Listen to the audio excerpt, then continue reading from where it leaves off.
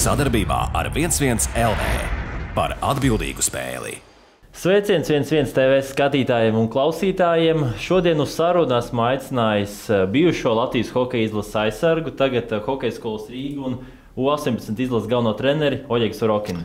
Čau! Jā, sveiki, sveiki. Prieks būt te. Jā, nu, noteikti jāatzīmē arī, ka tu esi NHL komentētājs.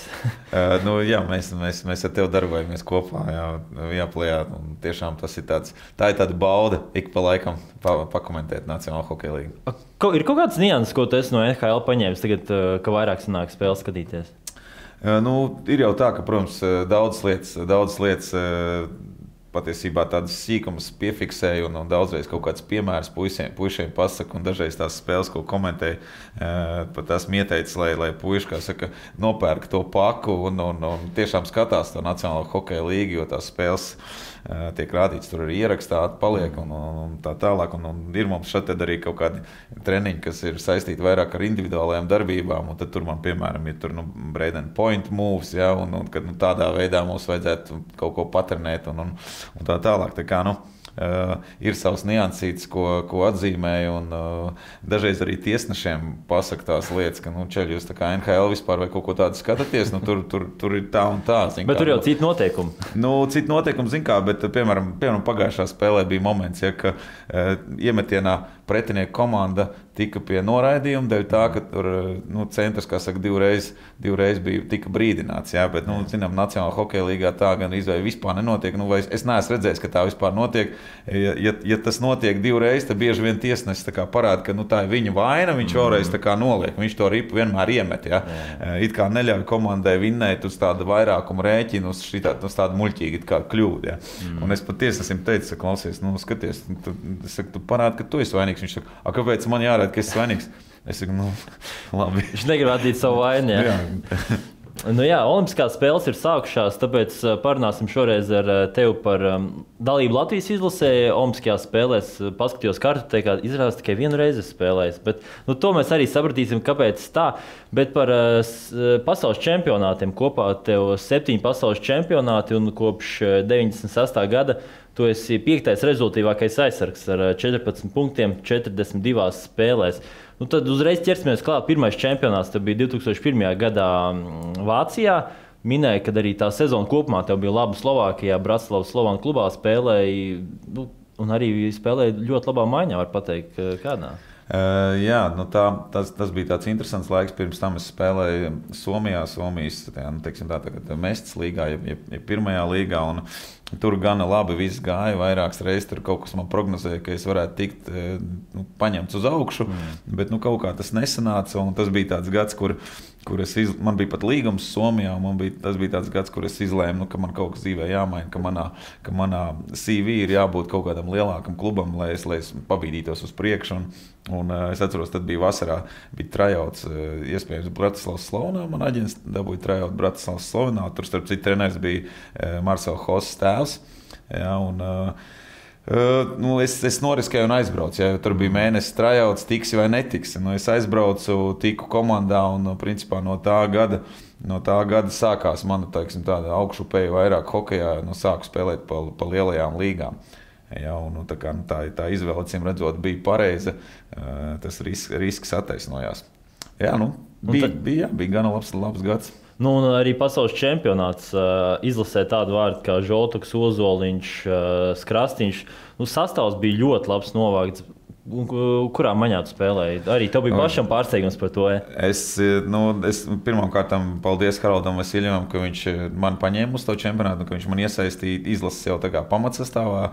Līdz tam man tas neizdevās. Es domāju, visam, protams, ir savs laiks, un man bija cik man 26 vai 27 gadi pat jau tad, ja, kad, es, kad es debitēju e, izlases oficiālajā turnīrā. Tas bija pirms tam, tas bija Klagenfortē atlases, mm. atlases turnīrs, un šis bija pirmais, pirmais pasaules čempionāts. Un, jā, es vienā maiņā spēlēju liekas, ar, ar Viktoriju Ignaķevu aizsardzībā un uzbrukumā bija, liekas, Kerčs, Kerčs Beļauskas, Fanduļs. Kā, nu, bija ļoti, ļoti laba maiņa, tāds, zin, tā, tā, ļoti, ļoti atbildīga tā situācija bija tāda. Nu, es, es tur, it kā jau man visi pazina, jo es tiešām tur gadus piecus visu laiku par to izlasu, tur grozījos. Ja.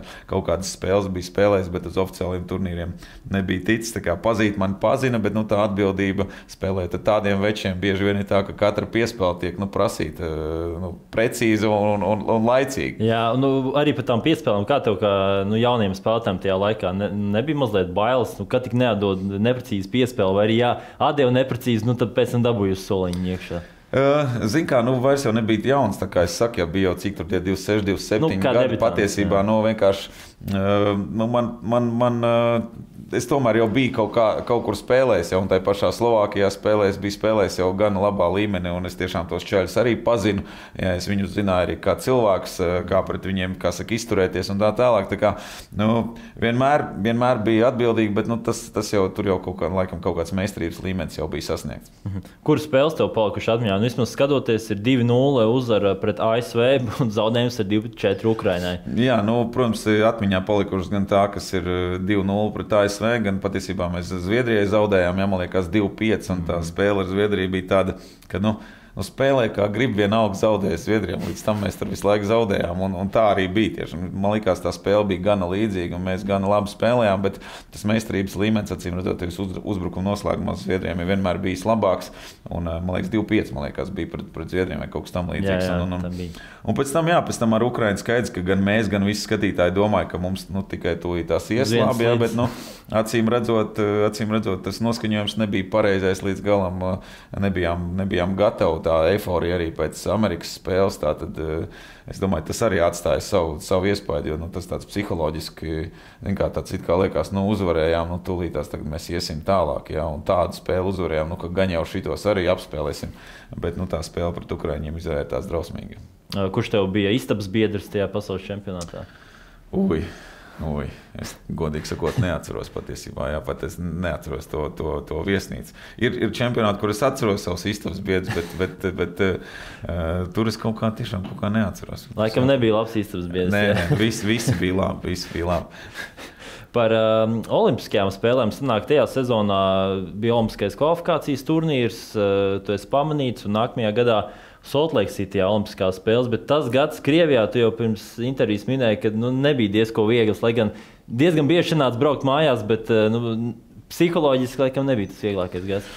Uh, tas bija tāds, tāds smieklīgs gads. Pirmā, tik, tik, tik daudz, jā, Permas Molotā, tas bija Krievijas, eh, Krievijas tajā laikā saucās Superlīga vai kā. Un, mm. un, uh, tas gads bija tāds interesants. Pirmkārt, uz, uz, uz to permu vien jau aizbraucu. Principā nu, augusta, augusta beigās, vai pat liekas, septembra sākumā, jau nu, burtiski pirms, pirms, pirms pašas sezonas, kas manā uzturē bija labi, jo nu, nebija, negāja cauri tām visām viņa tām nometnēm, nesaprotamajām. Jā. Nu, un uh, gatavojos pats, nu, to es darīju katru gadu. Līdz tam arī tā, kā, tā, tāds ir tas ārzemnieka, ārzemnieka mūžs, ja, ka tev, tev nu, tev jābūt gatavam, kad tu atbrauc uz komandu. Un, tādā ziņā viss, viss bija ok, bet nu, komanda bija ļoti vāja. Principā cīnījās par palikšanu līgā. Un tajā laikā vēl tur bija tās spēļu pirkšanas, pārdošanas, tur visādi momenti bija, kad izrādās, ka tev pēc tam atvelk naudu, pasaka, ka tika tiesnešiem samaksāts, un tu esi riktīgi nokopājis. Vispār, nu, tā kā gulies tur zem ripām, viss izrādās, ka ir viss samaksāts, ka vispār pretinieku komanda ir nu, atdevusi mums to spēli. Tu nesaproti, kā atdevusi. tur es zilumos viss.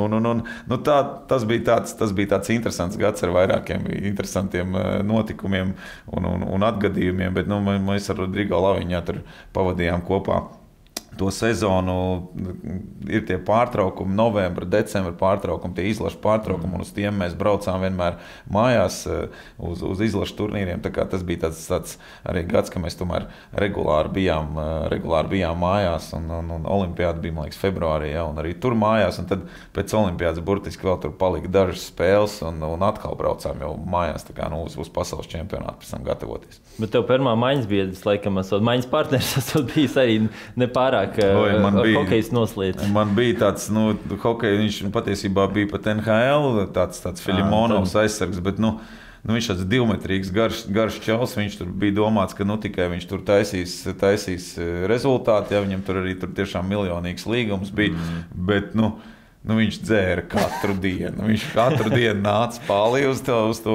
uz tiem treniņiem. Un, reāli, man liekas, es to gadu atceros, ka es visu gadu aizsardzībā spēlēju. Nu, spēlēju tur pirmajā maiņā, kurā spēlēja viņš, spēlēja treneru dēls. Oh, mums bija treneris Goļakovs tajā, tajā laikā. Un, uh, viņa dēls, kas bija jauns, bet nu, īstenībā talanta tur nebija gandrīz. Tad nu, nu, bija, nu, bija grūta sezona, bet, uh, nu, kas saka, caur grūtībām uz priekšu. Jā, nu tās grūtības, bet Saltlake City gadu iepriekš, jā, kā jau minējāt, palīdzēja izlasēji jauns treneris, arī Kurts Lindstrēms.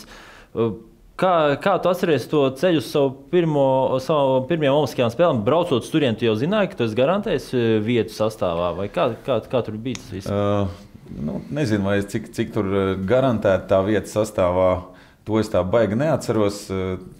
Nu, protams, ka cerēju, cerēju ka tikšu un, un līdz ar to, ka spēlēju. Uh, spēlēja teiksim, Krievijas eh, līgā, ja nu, vienā no augstākajām, nu, Eiropas saka, augstākajām līgām. Tajā laikā nu, bija cerība, ka tomēr es, es būšu sastāvā. Mēs uh, kopā ar Rodrigo Laviņu arī, arī braucām uz to olimpiādu, kas, kas arī bija interesants, interesants ceļojums patiesībā. Uh, labi atbildēšu sākumā uz, uz to, jā, to sākotnēju jautājumu. Tā kā, tā, tāda, tāda sastāvā būšana vai nebūšana, nu, laikam jutos, jutos ka būšu uz to mm. brīdi. Atceros tomēr nu, iepriekš iepriekš. Jā, vairāk arī tādi vecāki, varbūt gada gājuma eh, aizsargi bija, ja, kas jau nu, kaut kas varēja spēlēt, kaut kas nevarēja spēlēt. Kas, kā, nu, plus, mīnus, plus mīnus bija skaidrs, ka, ka, ka varētu būt 7, 8 aizsargs uz to laiku. Bet, nu, par to tas, interesanto ceļu, kas par to interesanto ceļu, jā, tur bija tā, ka nu, mēs ar viņu Mēs ar Drigo Laviņu tātad mēs eh, nu, sākumā mums no tās pērmas jālido uz Maskavu. Nu, mums tur palikuši kaut kādas trīs dienas līdz izlidošanai uz Olimpiādu. Mm -hmm. Un eh, nu, jāatbrauc uz Rīgu, tur jāsavāc tās mantas. Jā, vesels, tur tajā laikā bija nezinu, apmēram divas hokeja somas vai trīs pat ar mantām, ko tu Principā tu nevari visas nemaz paņemt. Bija atklāšanas ceremonijas drēbes, noslēguma ceremonijas drēbes, cits bija viet, tās drēbes, kas tev jānosā, jānesā pa to, nu, nu to, to, to kompleksu, ja? pa to kompleksu, jā, jeb, jeb ciematu olimpisko, nu, ar kurām drēbēm tev jābūt, es nezinu, lidostā ir, jā, un tad, un tas, es saku, tas atklāšanas ceremonija, tu tev tas slēpošanas kostīms, viss tas lielais, jā, nu, un, un, un, un zābaki un botas un tā tālāk. Nu, var sakot, bija apmēram nu, divas hokejas mums noteikti bija, jā. Mm. Un, eh, bet, nu, lai nu kā, protams, tās mums vēl pagaidām netika iedotas. Ja, mēs braucam uz to uz atpakaļ mājās, un mēs braucam caur Sanktpēterburgu. Eh, doma bija tāda, ka mēs eh, aizlidojam uz turieni. Tur aizbraucam ar taksi līdz Narvai, un Narvā man brālis atbrauc pretī ar mašīnu. Tas, būtu, tas bija tāds ātrākais ceļš uz to brīdi. Nezinu, kāpēc tur kaut kas tāds - jā, jā, nu, tur kaut kā tur ne te lidmašīnas nesakrīt, jā, jā. ne te vēl kaut kas. Tas bija tāds ātrākais ceļš.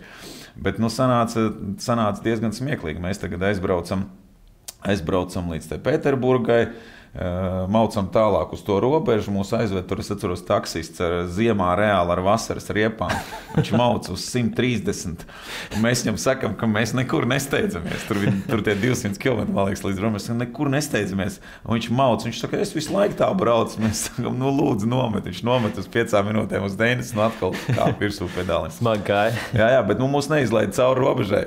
Un mums nācās braukt atpakaļ. Nu, tur jau bija cits, jā, tur nācās braukt atpakaļ, skārtot kaut kādu, tur kaut kāds, var sakot, kaut kas nebija vispār permā nokārtots ar mūsu vispār atļaujām atrasties Krievijā un tā tālāk. Nu, tā kā tā atbraukšana bija tāda nu, ļoti sarežģīta. Kaut kā mēs tur tikām cauri tur ar visiem tur kontaktiem, caur, caur Latvijas vēstniecībām un tā tālāk. Mums tomēr dabūja, kā saka, tur atļaujas, dabūja, dabūja mūs pāri robežai. Un, un, Un, nu, tā, tāds bija tas ceļš sākums, tā kā varēja arī netikt līdz olimpiādai. Bet beigās paspējāt uz lidmašīnu, jā, vai viss kopā? Nē, nē, nu, viss, viss, viss, jā, mēs, mēs nu, man liekas, ka jā, mēs lidojām, mēs lidojām visi kopā. Un, un, bet nu, tas bija arī tas laiks, kad bija tie visi tās terorismu lietas un tā tālāk, pirmā gada. Un, un, un, un nu, sarežģīts laiks, ļoti, ļoti, ļoti tāda. Uh, Atmosfēra bija tāda, nu, man liekas, ka bija nu, trīs drošības posteņi, lai tu vispār izietu ārā no, teiksim, mm. no, no ciemata Olimpiskā. Jā, pareizi sakot, pirmā spēles kopš 11. Sep septembra terora akta. Tu minēji par tām mantām, nebija ierobežotas kaut kādas mantas, kuras jūs varējāt ņemt, vai varbūt atņēma lidostā, kad nu, kaut kas aizdomīgs bija. Nē, nu, šņābi nevedām. Tā laikā jau vairāk, ja tas jau bija kā vecajos PSRS laikos, tad, tad varbūt tās vedām šņābi un tirgojām tajā galā. Protams, principā neko, nekas nebija tāds, ko, nu, ko, ko nedrīkstētu vest, nu, izņemot to, kas, to, ko tiešām nedrīkst vest. Jā, tā kā mm. mums tās mantas, kas bija, man liekas, visi, man liekas ka visi nonāca ar, ar, ar, ar visām formām tērpiem līdz, līdz galam.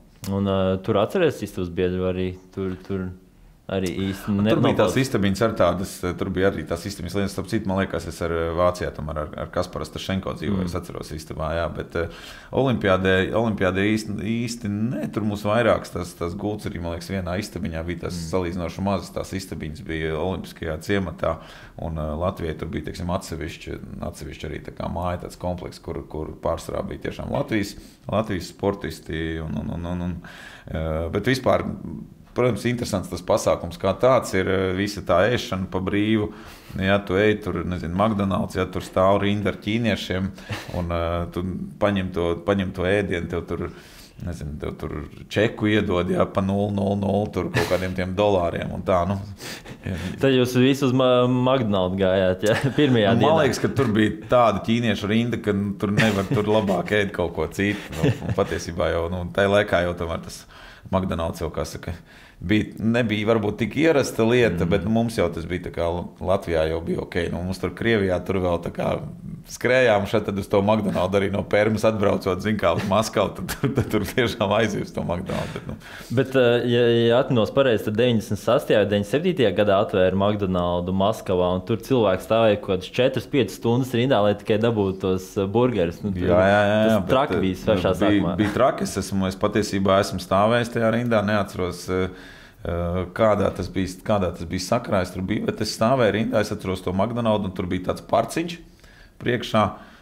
Nu, nu, ņemsim, piemēram, vērmanīti. Jā, mm. nu, tad, tad apmēram nu, tā puse, tāds, tā kā tāds C burtā, ja mēs paņemam, nu, tā arī tāda izskatījās. Apmēram, jā, tur bija jāstāv pāris stundas, lai tiktu McDonald's pie savu burgeru. Un, un, Labi, ka tajā laikā nebija Covid situācija. Tad, laikam, neviens tur nečakīja. Tad tur būtu distance jāievēro ārā no ciemata, būtu rinda. Bet uh, par atklāšanas ceremoniju Harijs Vitoļņš uh, nesa karogu. Uh, tagadējais Latvijas hokeja izlases galvenais treneris.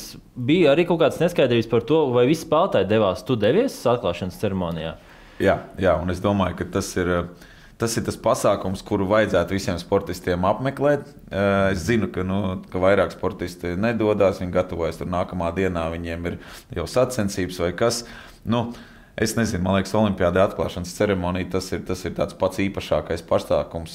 Es tiešām esmu priecīgs, eh, nu, ka, ka es biju tiešām atklāšanas ceremonijā. Tas bija kaut kas īpašs. Tas ir, kad nosauc to Latvijas vārdu un tu izēji arēnā, nu, eh, tev skudriņš skrien. Jā, un, un, un, un, tā, tas bija, tā bija fantastiska emocija. Tas ceļš tur Amerikā bija tāds gana īss. Mm. Jā, acīm, mēs sēdāmies tribīnēs pēc tam, un tā tālāk. Tur, protams, viss tur prezidents un tā tālāk, tur uzrunas un tā. Bet uh, atklāšanas ceremonija, ceremonija tas ir kaut kas īpašs. Jā, tā, ir, tā ir gaidīšana. Pirms tu izēji arēnā, tā ir gara, gara, gara rinda ar, ar, ar valstīm, jā, bet uh, tas, ir, tas ir kaut kas tāds, kas ir nu, jāapmeklē. Bet tajā laikā, laikam, to pasākumu varēja vēl labāk izbaudīt. Jo tagad, izējot ceremonijā, visi, visiem ir telefona rokā, bet tajā brīdī tu skaties, to ar acīm to baudi. Jā, taisnība īstenībā. Tā laikā tiešām nekādas beigās, tādas, neatceros, nekādas tādas beigās focēšanās, tur, tur būtu. Nu, es, es pieņemu, tā neatceros, kā tur bija telefoniem jau kaut kāda, gan jau ka bija. bija kameras, kameras bija noteikti arī. Jā, ar, un, ar lielajām kastēm? Bija, jau, kā, bija arī bija tie fotoaparāti mazie. Jā, mm. nu, tā kā principā jau viss, viss notika. Bet, nu, Uh, nebija tāda, ka, jā, tā kā baigi, nu, es vismaz neatceros, ka es tur baigi filmētu kaut ko tādu. Nu, kaut kādas bildes, bildes noteikti uztaisīju, bet, mm. bet nu, tā emocija, tā kā saka, ka tu viņu izbaudīji vairāk. Jā. Pievēršoties hokejam, aktuāls temats pirms turnīra. Turnīra laikā bija NHL spēlētāji, lai gan notika visas spēles nu, praktiski turpat blakus NHL visam, visai virtuvē. Tomēr tāpat to spēlētājs nelaida arī regulārā sezona netika apstādināta. Bet par iziesim cauri visām spēlēm. Pirmā spēle pret Austriju 4-2 uzvarējāt. Tev pēdējā 4. vārdu gumā arī piespēle, kad Vitoļņš iemet. Atcerieties to spēli, neatcerieties. Tribīns laikam bija diezgan patukšs. Jā, tribīns bija patukšs, un tā arī nebija tā arēna, kurā mēs pēc tam spēlējām teiksim, ar Slovākiju. Mm -hmm. Un, uh, Uh, nu, vispār tur es, es to spēlēju tā baigi neatceros. Es atceros, ka mēs vinējām, ja es atceros, man, man, man viens vai, vai divi punkti pat bija tajā spēlē. Bet, uh, bet jā, nu. Uh, tam bija jāsaka, liekas, arī iemetu, iemet, iemetu vārdus kaut kas tamlīdzīgs. Nu, nu, to spēli mums vajadzēja vinēt, un to spēli mēs vinējām. Jā, bet uh, vispār tā, tā atmosfēra bija tāda, tāda klusa. Tāpēc es saku, tas galvenais olimpiādē likās, tā, nu, uz to brīdi pilnīgi noteikti bija tā atklāšanas ceremonija. Tas bija kaut kas mm -hmm. īpašs. Pārējais tas pats hokejs bija tāds. Nu, Tā kā tāda bija tā kā ikdiena, un bija vispār daudz ar hokeju saistīts tādas daudz nu, problēmas. Teiksim. Jo tu, tu, mēs braucām, piemēram, uz to vienu halu, mēs ģērbāmies, tad mēs braucām kaut 40 minūtes uz otru halu trenēties. Nu, tad iedomājieties, tikai ceļā vien tur mēs patērējām mm. kaut kādu pusotru, divas stundas. Un plus vēl tas, ka tu tur, tur tās slīdes velc, novelc, kamēr tu tur sataisies, kamēr kas. Tā kā principā uz treniņu aizbraukt pagāja visu dienu, jo vēl arī, kā es teicu, tie drošības pasākumi, izējot no Jā. ciemata, ieejot ciematā. Jā, tur autobusu iebrauc kaut kādā vietā, viņu pārbauda, tur viss vai nav kāda mīna piestiprināta vai kas. Jā. Pēc tam tu ej cauri kaut kādai teltī, tev izlaiž visu to somu, tev pastāsta, mm -hmm. nu, kādā lidostā. Jā. Jā, jā. Un tad, nu, nu, un, un tas pats notiek apmēram, kad tu halē iekšā. Nu, nu, tā tas process bija baigi garš tajā laikā. Nogurdinošs. Nu, tāds diezgan, diezgan nogurdinošs. Jā. Bet spēle, kur noteikti atceries uh, pret Slovākijas izlasi 6-6, uz to spēli arī palīgos atbrauc Ozoliņš. Un Krastīņš. Kā bija, kad eh, šie NHL spēlētāji ienāca ģērbtuvē? Tas eh, mainījās kaut kā atmosfēra vai tas, nu, ka, ka, kas notika ģērbtuvē tajā situācijā? Ziniet, kā mums jau viss tā, tā, tā komanda, tajā laikā viss tā atmosfēra bija vienmēr tāda, tāda ļoti jautra un principā tie spēlētāji viens otru labi pazina. Tie paši NHL spēlētāji. Ja, nu, tikko jau tikko, saka, ir bijis kāds cits, varbūt turnīrs, jā, vai pavasarī mēs bieži vien tajā laikā izlasē trenējāmies kopā. Jā, e, Puisši uzturēja formu, e, tiešām kopā federācija ir organizēta treniņa notika. Kā, e, protams, bija kaut kas īpašs, un visi teica, o, beidzot, čau, čau, un tā, un tā tālāk. Mm -hmm. Bet, nebija nekas tāds, ka nu, tagad, zinu, tur vispār tur nevar, nevar sēdēt, jā, vai apmēram tā kā visi kautrējās. Jo nu, jā, visi jā. tie NHL mūsu čaļi, tur visi zina, zin, Sandi, Sergeja, visi ir gana jautri ar labu humoru izjūtu, un, un tā atmosfēra bija ļoti, ļoti pozitīva. Mhm. Un pats spēle, tu ne, bija kā septītais aizsargs. Ja Jā, es nezinu, septītais vai astotais, tur kaut cik mums tur kā tur skaitījās, bet es, es nespēlēju nu, kaut kādas, nu, vismaz 35, man liekas, minūtes vai 30 minūtes kaut kādā apmēram. Tad, tad eh, kaut kā vietā, es jau neatceros, eh, kā vietā īsti man palieties trešo periodu, kā nospēlēju pilnu. Mm -hmm. Jā, bet, nu, eh, Man liekas, mē, nu jā, mēs bijām tur zaudētājos diezgan, diezgan nopietnos. Ja, kā, trāpīja uz to brīdi, kad mēs tur metām, metām tos golus iekšā. Ja. Bija, bija, bija ļoti emocionāli, interesanti spēle. Un skaidrs, ka 6-6 nu, tur nav citu variantu. Tā ir interesanta un emocionāla spēle. Un, bet uh, Forši bija redzēt, tiešām, ka šie NHL spēlētāji, kā viņi spēlēja, kā Sandrs tur mm. dragā, ja, ka viņš ir tādā, tādā jā, kad, zin, sezonas vidū, ka viņš ir formas pilnbriedā, teiksim tā. Nu, to var redzēt, kāpēc viņam maksā to lielo naudu Nacionālajā hokeja līgā. Bet uh, iesaistīties spēlē trešajā periodā nebija grūti. Nu, soliņa augsts kājas. Uh, nu, bija, jā, bija pilnīgi noteikti bija grūti tādā, tādā spēlē, lekt iekšā spēlē, ka tur, tur ir Nacionāla hokeja līnijas spēlētāji. Nu, nav viegli, bet nu, kaut kā jau. Kaut kā jau tev jāspēlē. Nu, kā, kā ir teikts, tā tu dari. Nu, ja, Bet rezultāts nemaz nebija tā. Bija, pēc diviem periodiem bija 4, 6, un tad trešajā periodā divas vārdas iemetāt. Nu, jā, es saku, man liekas, ka es otrajā periodā beigās sāku, sāku spēlēt, vai mm. tad nebija, nebija tiešām 2-6 pat rezultāts. Di, it, nu, rāda, ka te ir pēc pirmā perioda. Per, pēc pirmā perioda bija 2-2, otrajā jā. periodā 2-4. Nu, no, respektīvi, okay. Labi, jā. Jā. Bet uh, pēdējā, ne pēdējā spēle, bet nākamā spēle, nu, pēc tik labas Slovākijas spēles pret Vāciju 1-4. Tu gan teici, ka laikam īsti Tādas spēles neatceries. Es īsti neatceros. Nu, ne jau tā, tādas spēles, bet nu, es īsti neatceros to Vācijas spēli. Uh, skaidrs, ka. Irba bija atbraucis. Jā, Irba bija atbraucis. Un, un, un pēc tam, uh, nu, es, es, es, es godīgi sakot, tiešām es baigi, baigi miglaini to spēli mm -hmm. atceros. Es nezinu, laikam, laikam izdzēst no atmiņas. Jo, nu, kā jau tajā laikā varbūt mums vajadzēja to Vāciju vēl vinēt. tajā laikā tas bija sitamais pretinieks. Jā. Jā. Jā. Nu, Pērmais tā varētu teikt. Un, nu, cik nu pērmais, nu, viņi jau gāja uz augšu. Ne, ne vēl te Vācijā bija pasaules čempionāts arī ja, nu, gadu, gadu iepriekš. Jā, Vācijā bija pasaules jā. čempionāts. Nu, tas tomēr ir nu, arī parādīja to, ka viņi hokeja gāja uz augšu. Un pēdējā spēle pret Ukraiņu 9-2. Nu, tā bija jautri. Jā, tur droši vien ar, ar, saistās arī daudziem ar to Maticina gūtajiem vārtiem. Kā, viņš met eh, to sodu metienu. Un, un tas, tas bija arī tāds, tāds labs emocionāls brīdis, jo nu, Andrejs bija ilgs laiks tiešām vadošais aizsargs eh, izlasē. Un tajā laikā, man liekas, viņam 38 gadi vai kaut kas tamlīdzīgs bija. Tā, kā, tā, tā bija viņa tāda atvadu spēle izlasē. Sanāca. Jā, pēc tam gan Lindstrēms viņu uzaicināja uz pasaules čempionātu kandidātos, bet beigās neiekļāva. Bet kā Kurts Lindstrēms uh, pie izlases stūres, par viņu arī dzirdēt visādi stāsti, kādus veidus viņš meklē, lai atbrīvotu spēlētājus no hokeja. Kāds viņš bija kā treneris tajā pirmajā turnīrā? Uh, nu, viņš, viņš, bija, viņš bija tāds nedaudz, nedaudz nu, viņš, viņam bija jāiepazīstās ar visiem mm. pa lielam. Kā, un, un, bet viņš bija tāds cilvēks, kas psiholoģiski ar visiem labi satika. Jā, viņš labi satika saka, arī ar, ar Kiro, Kiro Lipmanu. Tur vienmēr spēja viņam kaut ko no viņa, no viņa izdīgt priekš komandas. Jā, un tāpat laikā viņš to vienmēr darīja tādu smaidu. Uh, kā treneris, eh, nu, es uzskatu, ka teiksim, tā pat, pati tā kaut kāda spēles sistēma un, un treniņu process bija ļoti labā līmenī. Mm. Jā, nu, spēlēs, kurš viņš, viņam tur gan brīvs bija, varbūt viņš slikti redzēja arī tā tālāk. Nu, tur bija visādas tās situācijas, ka, ka kurš. Nu, Kaut kur pazaudējās. Ne viņš zina, kas vārds iemet, apmēram, ja ne viņš zina, kas tur vispār notika un tā tālāk. Bet, nu, Kaut kā čaļi paši mierīgi vienmēr tika galā skaidrs, ka gan tās maiņas tika sauktas, gan viss, tā, viss, viss, viss bija ok, bet viņš bija ļoti patīkams, ļoti patīkams cilvēks un, un joprojām labas atmiņas par kurtu. Mhm. Uh, šķiet, pret Ukraiņas uh, spēlētāju TS divcīņā. No augumā ražanāks izskatās. Ukrainas. Nu, nu zini, kā tu vari uz mani paskatīties, ka skaidrs, ka tur gan izvēle visa augumā ražanāk par mani. Jā, bet redz, kāds iesēdiens, rīktīgs hokejs, hokeja iesēdiens. Man ir pārējais, jā, jā. Ideāli. Jā. Tu, tu distance. Noteikti tūlītās došu iekšā viņam, jā, vai uz, uz, uz gurnu noķeršu vai kaut kas tam līdzīgs. Nē, nu, lai kā tas būtu, skaidrs, ka mūsu tajos laikos, kad, kad es spēlēju tādi eh, maza auguma spēlētājiem, bija, bija daudz, daudz eh, sarežģītāk, jā, nu, eh, tomēr tā, tā spēka spēka spēle un daudz kas tika atļauts, dažādas ķeksēšanas un turēšanas un tā tālāk. Un, uh, no vienas puses tā, tas, tas arī kaut kur palīdzēja, šat, tad, jā, bet nu, no otras puses.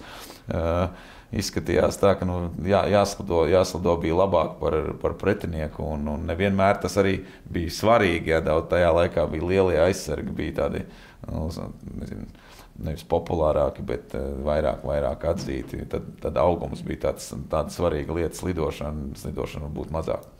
Bet uh, skatos pēc auguma parametriem, uh, tas ir Vadims uh, Slivčenko. Uh, Vienāds augums, 1,78 m vismaz pēc uh, elites prospekta datiem. Nu, es, kā... tas, tad es, tad, tas ar to visu ar to čauvu vēl tad es tieku galā. Vienkārši tev ļoti dziļš iesēdiens gan jau kājās. Ir, tāpēc. nu, jā, un arī tad es sanāk, sanāk tā bilde kā tāda. Jā, nu, bet, bet, bet diezgan bieži bija protams, tā, ka spēlētāji bija, bija garāki. Un, un es skatos, ko tas Kanādas izlase vai ko. Nu, tur vienmēr tur bija tādi spēlētāji, kā te, tajā laikā vēl joprojām bija Torntons un bija ja, Nešs. Un, un bija tādi spēlētāji, kas ir tuvu diviem metriem. Ja, un, un, un pret viņiem šādi izskatījās smieklīgi. Bet, nu, Uh, dzīve ir dzīve, tev jābūt, jābūt pareizam ķermeņa izvietojumam, jā, jāņem labāka pozīcija, un tad tas augums vairs nav tik nozīmīgs. Nu jā, jo bieži vien arī augumā ražas spēlētāji neprot vienkārši izmantot tās auguma proporcijas. Jā, ne jau, ne jau visi, ne jau visi māk izmantot savu augumu tā kā, tā kā tev nāktos. Nākamā sezona tev bija Somijā, nu, nākamās eh, divas sezonas Asad komandā. Tas bija karjeras eh, pīķis, tas augstākais punkts vismaz klubu ziņā ārzemēs. Nu, patiesībā divi pusi. Nu, tā bija līnija. Nu, pat, jā, pusi, gan izvēlēt trīs, trīs sezonas. Bet uh, tas, tas jā, nu, noteikti tas jāsaka, ka bija augstākais punkts, ja neskaita teiksim, kaut kādu Rīgas dīnāmo. Ja.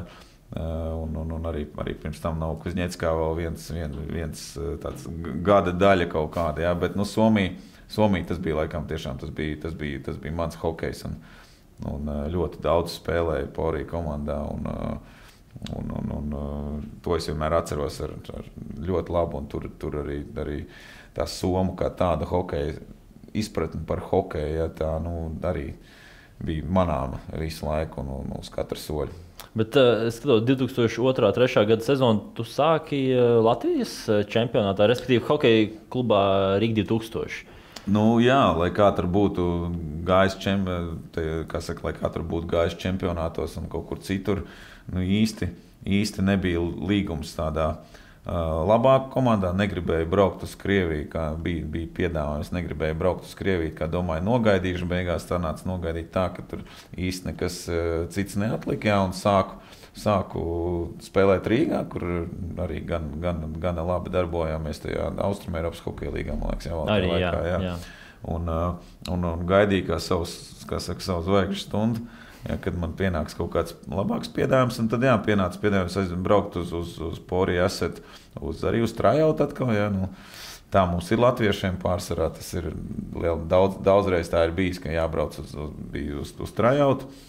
Nu, aizbraucu, apliecināju sev, acīm redzot, un, un parakstīju uzreiz toreiz līgumu uz, uz, uz, uz, uz, uz, nu, uz to gadu un, un, mm -hmm. un vēl uz priekšu.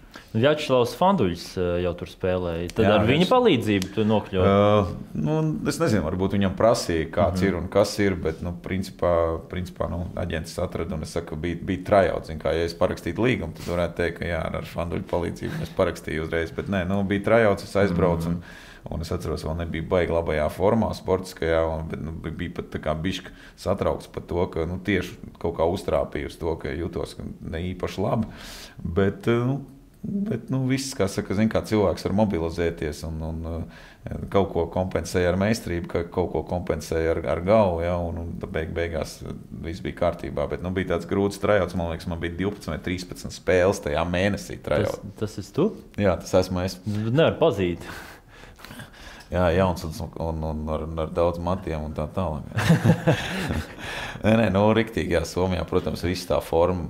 Forma bija aplīmēta. Jā, un, bet nu, es, es ļoti daudz spēlēju. Somijā spēlēju, principā, nu, bieži vien spēlēju katru otro maiņu. Un, nu, mm. bija vidējais spēles laiks, domāju, virs 25 minūtēm katru spēli gan arī izvēlēt. Un, un, un, uh, nebija tas klubs, teiksim, tas augstākais un tas pats labākais, bet, eh, bet eh, bija, bija, bija interesanti un man, man tiešām ļoti patika. Un, un, un daudz varēja izmantot savus agrāk slavenās tās piruetes, ja, un Somijā tas izskatījās vēl iespaidīgāk, jo tas hokejs ir ļoti ātrs. Un, mm. un, un, un, nu, tiešām, tā, tā, tas, bija tas, tas bija tas laiks, kad, kad laikam, tas labākais, labākais hokejs. Nu, kāds tika, tika spēlēts no manas puses. Nu, īstenībā jau arī nāca arī, arī citi gadi, bija tīri labi, ka Zviedrijā spēlēja arī te pašā te man Nāmo to pēdējo gadu. Labi sanāca. Kā, bet nu, Somija vienmēr ar labām atmiņām. Tur vēl vairāk noslīpēja piruēti. Ja? Oi, tur, tur jā. Nu, tas bija tas laiks, kad, visdrīz, tas bija tas laiks, kad tā slīpēšana tieši sanāca eh, vislabāk. Um, 2005. gads, uh, Olimpiskais uh, kvalifikācijas turnīrs. Tev ir uh, 32 gadi, nu, hokeistam tie paši spēka gadi, bet tu nebija ne Rīgā kvalifikācijā, ne Itālijā, Olimpiskajā spēlēs. Kas, kas tad notika? Jo... Nu, jā, tas bija. Nezinu, nu, es, es, es, es nepatiku trenerim Beresņovam. Un, uh, lai gan kādreiz mums bija ar viņu fantastiskas attiecības, un īstenībā tagad arī viss ir kārtībā. Mm. Uh, nu, nav tā, ka mēs tur sazvanāmies, bet nu, mierīgi varam izrunāties un tā tālāk. Nu, viņam bija savs skatījums uz, uz, uz dzīvi, man bija savs skatījums uz dzīvi. Kaut kur mums tie skatījumi, acīm redzot, uh, tā nepareizi nepareiz savienojās. Un, un, un, un, un, jā, un es tajā laikā, man liekas, vispār tikai Reķis un Sorokins spēlēja tajā gadā, spēlēja augstākajās, augstākajās Eiropas līgās. Bet, uh, es atbraucu uz, uz man, mani izsauca uz pārbaudi pirms, pirms Olimpiskā turnīra Rīgā. Jā. Man izsauca uz pārbaudi, un es atbraucu. Es atceros, visi sāka svētdien, bet man vēl bija spēle. Es atbraucu pirmdien. Man ielika uzreiz piektajā maiņā. Es noslidoju vienu dienu. Man nākamā dienā pateica, ka nu, nu, eh, mums jau te viss ir saspēlējušies. Kā, paldies! Man tas, bija, pēc, man jā. tas bija vienkārši tāds šoks. Nu, es, protams, teicu, kādā sakarā, kāpēc mm. es esmu atbraucis, jā, bet nu, labi, es tur nedēļu pavadīju. Man tajā laikā tēvs bija, tēvam bija saka, diagnosticēts vēzis, un bez mazliet bija tā, ka viņš tur bija uz, uz, uz nāves gultas. gulēju. Tas bija, nu, tas bija tāds laiks, kad es varēju pavadīt laiku teiksim, ar, ar tēvu. Bet nu, kopumā tas bija nu, gan arī jāsaka, nu, nu, aizvainojoši. Tas diez, diezgan aizvainojoši, ka, ka vispār nu, ne viņa iespēja deva neko.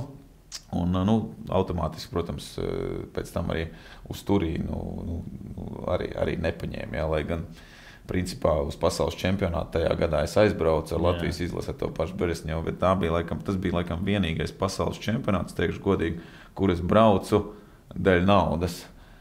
Bija, nu, bija kā prēmijas, es biju ļoti labā sportiskā formā, es biju, bet nu, es zināju, ka es Beresņevam neesmu favorīts, tā baigi necerēju nemaz ne uz ko, bet, nu, kā treniņi ir, tur joprojām tu to gadu pabeidz, treniņi ir.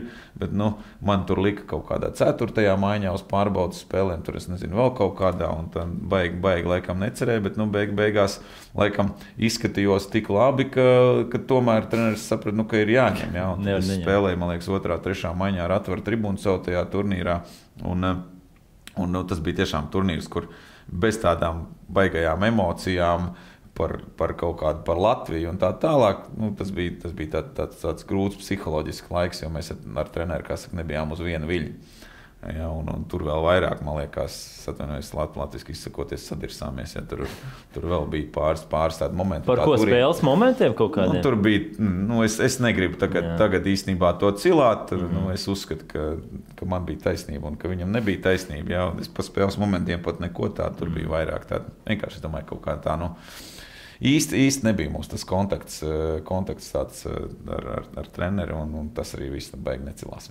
Cik liels prēmijas bija tajā laikā? Izlasē? Nu, man liekas, ka tajā laikā bija, tas bija lielākā prēmija, kāda jebkad bija.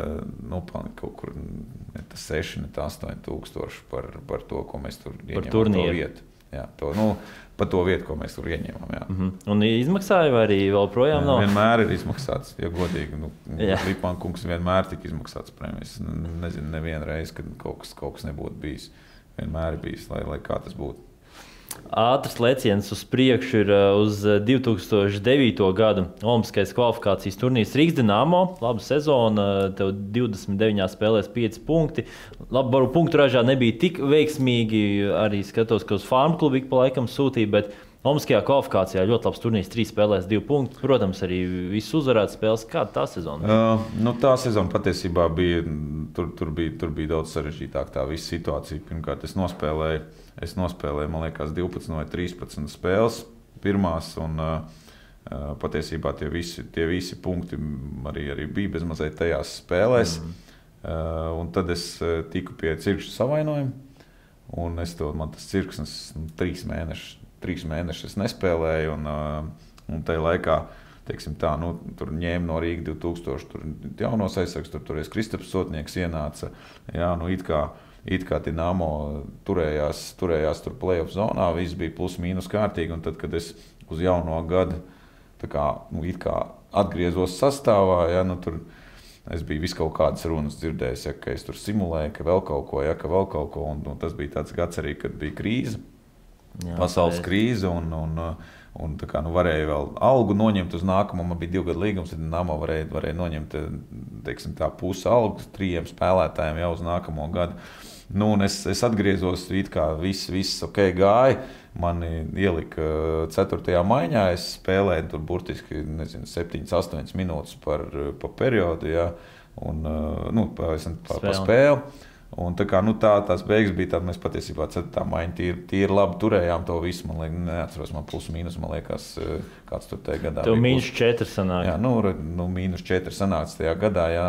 Un, um, plū, nu, tas bija kā, tas bija kā nu, neka, nekas īpašs. Man nekāda baigā bauda no hokeja nebija. Un beig, beigās arī, protams, runājot ar menedžeru, man teica, ka man tā kā griezīs uh, puses nost, vai es gribu braukt prom un tā mhm. tālāk. Nu, es tā piemetu pie tā, ka nu, es visu dzīvi esmu. Visu dzīvi esmu bijis pārzemēm, un es apzinos, kā tur ir, kā tur ir dabūt naudu. Tāpat laikā es jūtu, ka bija, ka bija baigā nepatika pret uh, Šuplera tādu politiku latviešu vidū tajā gadā, jo nu, ārzemnieki tika ļoti izcelti. Latvieši bija tādi, kas it kā nu, gan izvēlējās nemāķi spēlēt hokeju, ja, ka nu, tiešām ārzemnieki spēlēja labi mm. un, un met iekšā, un latvieši turēja to rezultātu. Ja. Bet jums jau arī un, konflikti bija kaut kādi. Ja? Nu, ne, īsti neskanēja. Baigie, nekād, ar, ar ko tad? Ar Šupleru. Nē, nē, nē. Ar Šupleru bija viss kārtībā. Nu, viņam varbūt tās tur nepatīk arī, piemēram, kaut kādas lietas. Jā, varbūt tās eh, kaut kad arī tur man piruēt, kāda nepatīk, jo viņš baidījās par viņiem, ja, ka kaut kas tur notiks. Jā, nu, mm. uh, bet mē, mums ar Šuplēru ļoti labas attiecības bija. Joprojām ir, es, es runāju slovākiski ar viņiem un tā tālāk. Jā, bet, nu, Zin kā, nu, es, saku, es, es trīs mēnešus biju ārā, tur nebija beigās vajadzības pēc jā. manis. Jā, un, uh, Un jā, bet nu, es piekrītu. Es teicu, nē, man pietiek, nu, labi, labi ir. Nu, nogriezīs man pusaugu nost, es palikšu. Jā. Mm -hmm. Varbūt tas bija kaut kādā ziņā priekš, priekš vadības negaidīt. Jā, viņi domā, ka es iešu projām. Bet nu, es jūtu, ka nāk, nāk problēmas. Es zināju, ka es vēl kā, nu, varu, varu labi spēlēt. Un, mm -hmm. uh, gribēju arī sev pašam saka, pierādīt. Es ļoti labi kā, gatavojos sezonai pats. Es, uh, mani visu laiku, visu to, to periodu, kad mēs gatavojamies sezonai. Man tur lika 4. un 5. maiņā, tur neļāva spēlēt pārbaudas spēles. Tur, es atceros, Sergejs Durdins tika ņemts, tur Maksims Širokovs tika ņemts. Kā, kā, nu, Konkurence. Ka viņi, ka viņi tā kā spēlēs. Jā, bet, nu, Nu, kaut kā laikam viņiem vēl tas līmenis nebija tāds, vai es biju labāks. Nu, man joprojām atstāja, un es atceros, kad es spēlēju, es sāku sezonu 4. maiņā. Uh, arī spēlēju tur tās dažas minūtes, dažas minūtes pa spēli. Bet nu, brieda tie, tas konflikts eh, starp to nu, vispār briedu. Un, ja tu atceries to gadu, tad man liekas, bija kaut kāds 18 spēles nospēlēts, un mēs, mēs bijām trīs uzvaras tikai mums bija mm. jā, pirmajās spēlēs. Un, un, uh, Un tad, tā, bija, tā, bija tā, nu, tā bija tā sezona, kad atceros, Sotnieks spēlēja ar Ozoliņu. Viņiem tā kā negāja sākumā. Un, uh, Tad man ielika uz otro periodu, un es uz trešo periodu ieliku. Un, un tā kā nākamā es nospēlēju labi, man atkal ielieka atpakaļ ceturtajā maiņā. Nu, šī tā gāja kāds, tāds, nu, kāds desmit spēles, man liekas, tā Mētā, gāja. Jā. jā, un tad eh, tieši pirms tās liktenīgās spēles ar skā, kad, eh, ko visi atcerās. Jā, nu, pirms tās spēles es aizgāju pie treneriem un teicu, klausieties, es, saku, nu, es neesmu nekāds puišals. Es saku, jūs man, kā, nu, es spēlēju labi, bet jūs tā kā ņirgājaties pa mani, jūs man ieliekat, nomet atpakaļ, ieliekat, nomet atpakaļ. Un tad bija nu, tad tur šupleram krēslas liktī, riktīgi eh, šūpojās. Ja, kā, ja atceraties, par, nu, tur avīzēs rakstīja, ka nu, nu tur, saka, un tā bija lūzuma spēle. Tā bija tāda, jā. Un tad, un tad viņi teica, nē, nu labi, liksim tagad iekšā visi nu, tie, kas kā, tur pelnījuši, liksim iekšā un tā tālāk. Nu, un tad, Nu, tad man arī līdz ar to nav jau tā, ka zinu, tur es skaidrs, ka visi komanda noskrien, bet nu, man sakrita tā, ka vēl pie tam tā spēle bija tāda, kāda viņa bija. Mm. Nu, tad tālākā sezonas gaita, principā, es nemaldos, bija tiešām 18 spēles, un tad iedomājieties, tajās pārējās man bija viens punkts. Un tad tajās pārējās spēlēs, tad, nu, tā, tas bija, nu, tā bija, kā saka, super sezonu. Man bija tas gods spēlēt ar Sandu Ozoliņu vienā pārī. Un, un vienkārši fantastisks, fantastisks laiks, ir, ir ko atcerēties. Un, un, un prieks, ka bija tāda izdevība. Jūs bijāt abi uzbrukoši tipu aizsargi. Kurš tad aizsardzībā sēdēja? Zin kā, nu, es uzskatu, ka nu, es pirmkārt esmu uzbrukošs, varbūt tīp, bet tāpat laikā es vienmēr esmu spēlējis liekas, nu, aizsardzībā gana, gana labi. Gan pasaules čempionātos, gan visur, cik es atceros, man pārsvarā tomēr ir, ir plusos tie rādītāji. Tā pašā Somijā mēs spēlējām. Nu, Man jau nebija tā, ka tur punkts spēlē vai divu punktu spēlē. Ja? Nu, bija kāds puspunkts spēlē, un, un, un Somija arī mūsu komanda. Mēs īsti plēfā netikām, ja? bet man bija, man bija plus mīnus plusā, principā gan izai vienīgajām komandām vienmēr. Ja? Tā kā es vienmēr esmu tam pievērsis uzmanību. Nu, un tajā laikā es biju gan pieredzējis aizsargs, es biju daudz redzējis Sandu. Uh, Sanda gājienus arī tur, uh, piemēram, vairākumā, tur, ko tik mēs neesam redzējuši. Jā, kad uz sarkanās līnijas viņš mēģina tur apspēlēt, un tad pretinieks dodas pretējā virzienā. Nu, es to visu apzinājos. Es apzinājos, kur man jābūt un kā man jābūt. Es, un, nu, man liekas, ka baigi labi, īstenībā baigi labi saskanēja ar Sandu. Bija spēlēt uh, interesanti, viegli un, un, un, un arī, arī, arī jautri patiesībā. Par Olimpiskajām spēlēm lasīju arī diezgan daudz neskaņas, neizpratni drīzāk bija par to, kurš tur dosies, kurš ne, nedosies. Tad runāja par Arthuru Kuldu, viņu ne, ņems vai neņems. Tad beigās uh, paņēma tevi līdzi uz Vankūveru. Jau jūs aizlidojāt uz Vankūveru, bet tad vēl nebija skaidrība, ja, ka, vai tu spēlēsi vai nespēlēsi. Uh, patiesībā jau bija tā, ka jā, tas sastāvs bija jānosauc, nezinu, kad tur bez mazliet pusgada ātrāk. Jā. Un, uh, un tajā, sas, tajā sastāvā tur nu, biju kā, nu, tas spēlēt, jo tā bija tā pēc iepriekšējās sezonas, ja, kad es tur spēlēju mazus laikus un tā mm. tālāk, nu, es neskaitījos kā tāds baisais aizsargs, kas ir stabils olimpiādas spēlētājs. Ja. Bet nu, tā sezona, atkal, kas, ko mēs tikko runājām, ja, tā bija nu, ļoti laba, ļoti veiksmīga un skaidrs, ka man bija jābūt tajā, mm. tajā visā iekšā. Un, bet nu, tas sastāvs jau tika nosaukts jau, jau vasarā. Ja. Un, un tur bija baigi grūti kaut ko izmainīt. Un es braucu uz, uz Olimpiādu principā ar domu, ka es spēlēšu, jo bija doma, ka vienkārši nu, Olimpiādi atbraucot, samainīs uh, vienu no spēlētājiem. Uh, negribu tagad runāt un minēt, kur mm -hmm. samainīs, ja, un es, es būšu iekšā, un tas spēlētājs būs, nu, teiksim, viņš būs tas rezerves spēlētājs, ja, kas paliks ārā. Un es braucu ar domu, ka es, ka es spēlēšu. Es arī treniņos trenējos, tur tā, ka, ka es spēlēšu. Es biju ļoti labā sportiskā formā, tiešām nu, ļoti labā. Man tā kā es, mm. es kā tagad atceros, teiksim, gan treniņu, gan viss tā ļoti nopietni. Jo nu, iepriekšējā tajā pirmajā olimpiādē es tur biju tikko izlasē ticis, ja īsti pie spēlēšanas netika. Turīnā man nepaņēma treneris arī netika. Nu, likās, nu, šī tā tāda olimpiāda, nu, kur es, es gribu parādīt visu, kas, ko es varu un tā tālāk. Un, jā, bet eh, Šveices izlase bija pirmā, kas mēģināja tur to spēlētāju vienu nomainīt. Jā, tur it kā trauma, viņam it kā trauma, mm -hmm. bet tur bija reāli, tur bija doktora komiteja, kurā bija jāparāda viss tur rengeniem, viss kaut kam jābūt. Un, un viņus atmeta. Un mūsu vadība saprata, ka nu, arī mums nekas nesanāks, ja, jo tas ne tas spēlētājs, ne, ne kāds cits ir traumēts. Jā, līdz, ar to, nu, līdz ar to sanāca tā, ka es nodzīvoju nedēļu Olimpiskajā ciematā un uh, devos mājās.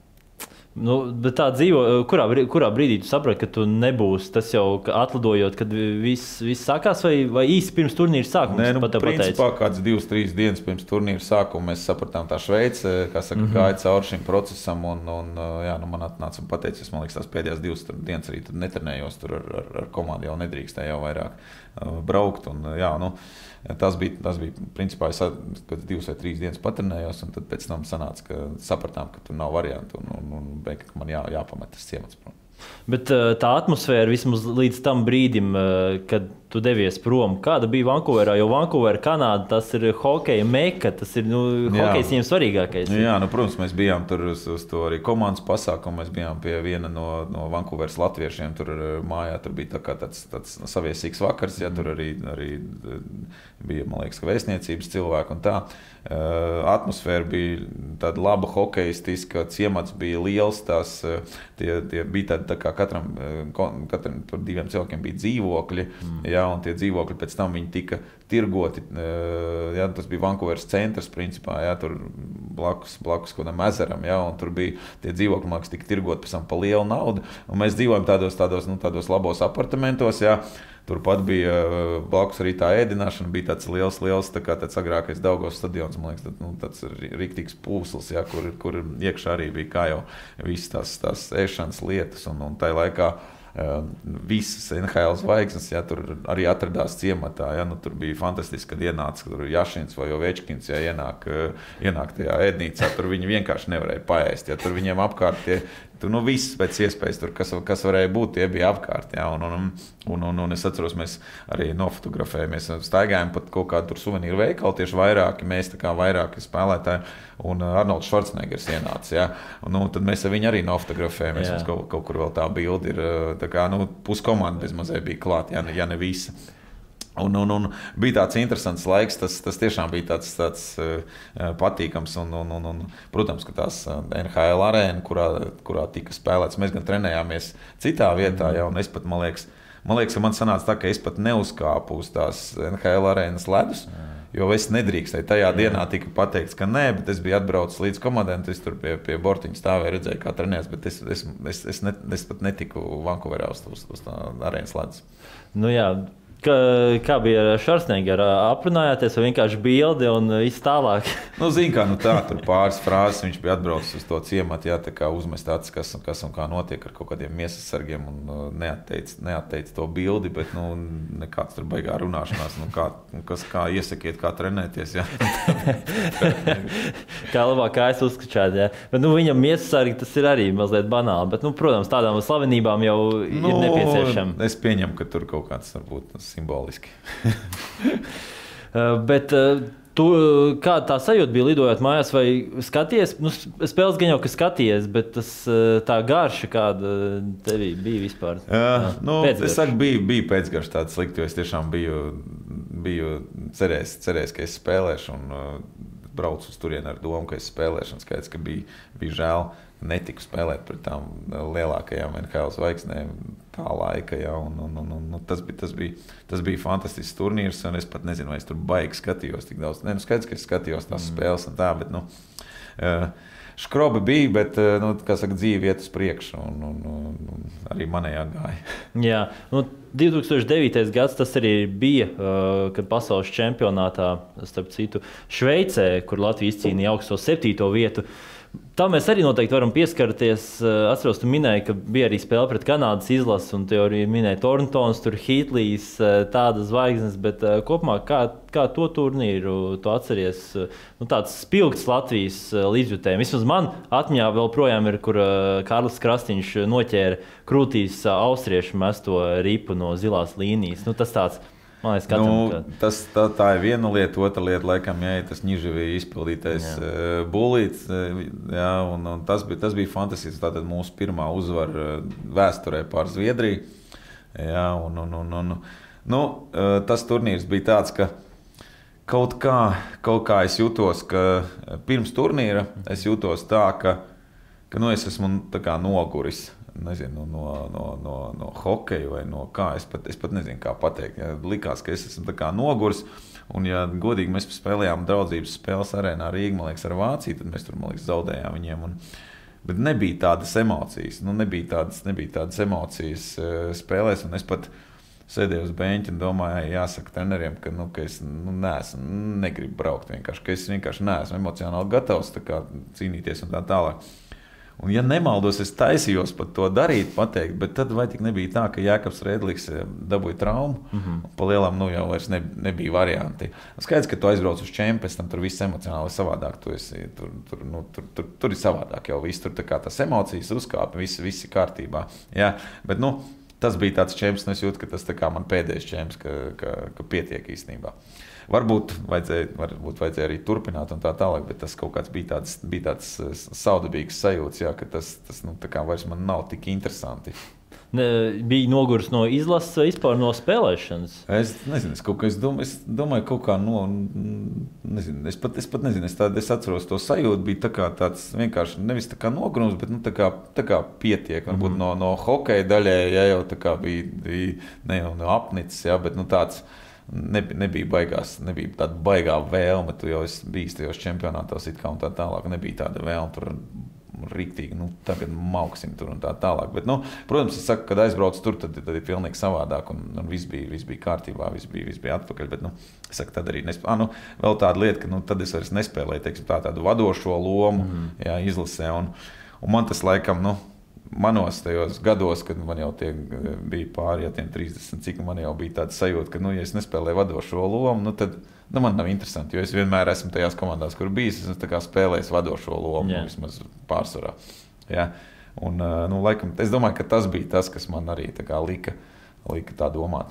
Tāpēc nākamajā sezonā vēl Rīgas dīnāmo, jau laba sezona, 17 punkti, 50 spēlēs. Tur Man liekas, praktiski visu sezonu ar Sandu Ozoliņu nospēlēja vienā pārī. Nu, es saku, tā bija tā jā, sezona, kad jā, jā. Eh, nu, kaut kādas 18 vai 20 spēles jā, jā. Tur, tur spēlējām. Kā, nu, tā, bija, tā bija super sezona, bet uh, pēc tās sezonas eh, čempions bija, tas bija 2000. Nu, sanāk 2009. un 2009. 10. sezona, tā bija pēdējā Rīgas dīnāma. Un tad pēc tam ļoti eksotiski izvēle Itālija. Uh, jā, tā izvēle bija, protams, interesanta. Skaidrs, ka bija, bija tāds, tāds rūkums, ka Dienāmo nu, pat, nu, tur bija tā, ka pat, pat nepazvanīja, nepateica, ka nē, nu, it kā runāja, ka tur slēgsim tur kaut kādas līgumas, skatīsimies, kad uzzvanīsim, sapratīsim. Bet nu, vispār nu, normāli sēž, nepazvanīja neko. Nu, Uh, varbūt arī nevajag, kas saka, visi cilvēks, menedžers darbos, viss ir kaut kāds savādāks domas, mm -hmm. bet uh, kaut kāds, kaut kāds rūkums bija sevī, bet nu, es kaut kādā tajā laikā un no tā laika un, un, un, un turpmāk dzīvē es kaut kādā baigi uztver to, ka viss, viss, viss kas notiek, eh, nu, visam tā ir, tā, tas, tā ir jābūt. Es domāju, nu, ja man Dievs nav lēms, eh, ka man parakst līgumu, nu, tad iespējams viņš man sargā, ka man tur, nezinu, ietriektu kāds bortā un, nezinu, es tur kļūtu par ratiņkrēslā apmēram. Nu, es tā apmēram domāju dzīvē un baigi, baigi forši īstenībā tā ir domāt, ka, nu, ka varēja notikt kaut kas trakāks, tad, kad es tieku, ka es tieku sargāts un, un, un es kaut kā tā arī eju dzīvē uz priekšu pēc tā dināmo gada un tā tālāk. Bet, nu, jā, nu, tā izvēle par Itāliju, zin, kā, nu, skaidrs, ka gadi ir gadi, kaut kādi tādi lielie klubi Eiropā. Nu, tāds es tur super spēlētājs neesmu. Jā, lai man tur tajos 3, 5, cik tur 3, 6 gados tur ņemtu jau uz, uz tādiem klubiem. Un nu, nāca piedāvājums no Itālijas. Tas bija diezgan īstenībā smieklīgi. Tā nauda bija īstenībā gana laba. Ja, bet, uh, Viņi ļoti gribēja, lai es braucu, un es teicu, nu, ziniet, nu, tā kā Itālija, nu, es varbūt vēl biju domājis uzspēlēt kaut kur, kaut kur stiprāk. Mm -hmm.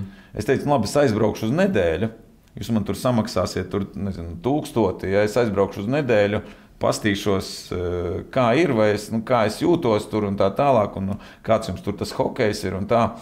Nu, tad, nu, tad izdomāsim. Viņi saka, jā, labi, davai, dari tā. Un tad, nu, tā arī bija. Tas bija vienīgo reizi manā dzīvē. Es, tā, es nezinu, kā es to visu tā izdomāju, ka es tā varētu vispār atļauties kaut ko tādu teikt. Bet, nu, es aizbraucu, tiešām es paskatījos, kā tur ir. Nu, nekāds baigais tur līmenis nebija, jā, bet nu, čaļi tādi gan jauni treneris, tāds divu gadu vecāks par mani, jā, tāds nu, arī agres, aktīvs amerikā, kanādietis.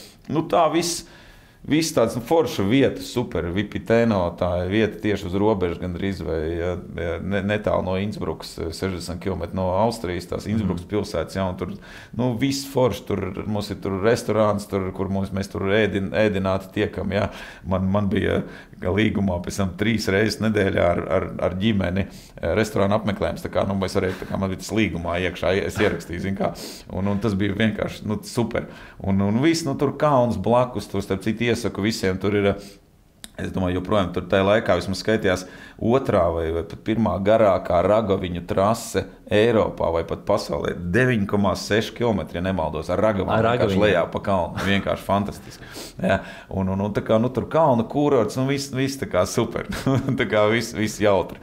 Un es, jā, es tā pastījos, domāju, ai, nu ko es čakrējos, ja, un es kā parakstīt, es jūtu, ka, nu, cik tur es vairs spēlēšu. Nu, jābrauc ar ģimeni uz Itāliju. Jā, man, man mazai bija tur pāris gadiņi, un, un, un tā kā nu, jā, izvēlējāmies aizbraucam. Un, un sezona bija tāda, ka tikām uz. Lielā mērā ar manu palīdzību arī tikām augstāk uz, uz, uz to augstāko divīziju. Bet tev jau bija līgums uz vēl vienu gadu. Man bija līgums jau uz vēl vienu gadu, bet es, nu, man bija viens plus viens ar to izvēli. Bet, nu, es, es kā, man, man nebija interesanti es jūtu, ka man nav interesanti, jo es, es, es jūtu, ka nu, man tas, tas man, man nav interesanti vairāk to, to hokeju spēlēt tādā līmenī. Man mm -hmm. tas bija tā, nu, un, un, un, un, un Jā, bija tāds, bija tāds saudabīgs gads, es sākumā atbraucu, man tur tās spēles bija. Tur baigi viegli jutos, tur viss kā man līmenis, it kā tur pārāks, un man bija kauns pilnīgi pa vārtiem. Mēs tam mazliet nu, tādu sajūtu. Es tā kā no nu, nulles vārta regulāri gribējās iz, izspēlēt. Jā, nu, tas vispār bija ārprāts kaut kāds. Es sākumā tā kā kaut ko nemetu, man tur pat, nezinu, pirmā spēlē es atceros, tur pa stābiņu vēl kaut ko tur tādu momentu tur pilns. Es tādu, nu, tā sāku dot piespēles. Piespēles, starp citu, man bija divreiz vairāk nekā ir ierakstīts. Tie itāļu tiesneši ir kaut kādi ārprātīgi. Jo, nu, es tur, es, es, un, bet man bija tā kā vienalga, es jūtu, ka tas man pēdējais gads, jo es jūtu, es sāku spēlēt, man nē, nu, es nākamā gada nepalikšu. Tā kā nu, pietiek. Un es, kā, man bija vienalga tie punkti. Tur es, tur nevar, es mm. biju domājis, ka galvenais palīdzēt komandai iziet augšā. Bet nu, bija dažas tādas piespēles, kuras tur nezinu, atdodu tur uz tālos vācu stabiņu ar, ar, ar, ar ripas lidošanu pa gaisu. Viņi nosēžās uz, uz nulles pāri, iemet golu, un viņi pat neieliek man piespēli. Man bija tāds moments, tāds piebrauc vienreiz pie tā tiesneša, klausies, nu, es saku, nu šito man varējāt ieskaitīt. Un viņš man gan iznoraidīja. Nu, es tāds, jā, nu, skaidrs. ko, ko, ko runāt tiesneša? Tur bija, jā, jā, un tad, nu, tad, tad bija tā, un tad, jā, nu, protams, bet, zin kā, es arī daudzreiz teicu, jo vecāks spēlētājs, jo vairāk viņam interesē cīnīties par kaut ko, un skaidrs, ka es, nu, gatavojos tur plēfam, un plēfā tur ar pirmo spēli sāku arī, arī, arī gols mest, man liekas, un tā, un, un, un, un tikām, tikām finālā, Un uh, finālā arī pirmajā spēlē teiksim, mums bija, mums bija tā kā. Mums bija, nebija laukuma priekšrocība. Ja mēs pirmo spēli aizdījām pretinieku laukumā, un es pirmajā spēlē mēs, liekas, vinnējām 3-2 overtājumā. Ja, un, Mēs bijām zaudētājos pusotru minūti pirms spēles beigām. Mums bija, mm -hmm. es atceros, viens, divi zaudētājos. Uh, Jā, mēs tur izspēlējām manas, manas izdomātu kombināciju, ko mēs pirms tam treniņā izstrādājām cauri. Jā. Un treneris man baigi uzticējās tajā, tajā playoff laikā. Viņš tur viņam, nu, tā kā mēs tā kā diezgan, kā saka, gandrīz vai vienu vecumu, jā, mēs tā kā es runājam, es saku, nu, es, tev, es palīdzēšu tev, jā, bet, nu, mm. davai tiekam galā. Un tad, tad bija tā, nu, to golu, un tad es iedevu overtime vēl tā, kā es apmēram teicu, uz, uz tukšiem. Jā. Un, uh, un tad, nu, un nākamā spēlē es salauzu, man salauzu rīpu. Nu, un es nemaz nespēlēju turpmāko, bet es tā kā treneris lūdzu, lai es esmu uz beņķa kā treneris. Jā. Es biju klāts tur pie aizsargiem, kā treneris, rīktīgi tur palīdzēja. Tad mēs vinnējām mājas spēles, zaudējām izbraukumā. Tad nu, sanāca, ka mēs komandu, komandu vinnējām. Tad, nu, es, es, man tas prieks varbūt nebija tāds liels. Jo es nu, nepiedalījos tajās pēdējās spēlēs, bet nu, tā pirmā spēle bija ļoti svarīga. Un, un, saka, tur es savu devumu veidu. Tas bija tāds, tas bija tāds, nu, es, tā, es arī jūtu, ka beidzās man tā sezona, pirmā vieta nu, Itālijā, tajā pirmā līgā. Es tāds pie sevis domāju, Nu, viss tā kā normāls nobeigums ir normāls nobeigums. Tagad tev nav mūža karte tajā restorānā, pilsētā, kā atnest čempionu titulu. Īstenībā, kaut kad es biju domājis, ka jā, tagad jau nevar, nevar saprast, kā tur ceļot, bet uh, pilnīgi noteikti, ka es tur iebraukšu tajā restorānā. Kad, kad, uh, Tev kartiņa vēl ir, ja? Nu, tā, nav, tā nebija kartiņa, tas sejā pazina. tā vēl labāk. Uh, bet uh, tagad pievēršoties uh, Latvijas hokeja izlasē, kas uh, šodien sāks Olimpiskās spēles, pirmā spēle pret Zviedrijas valstsienību 10. februārī.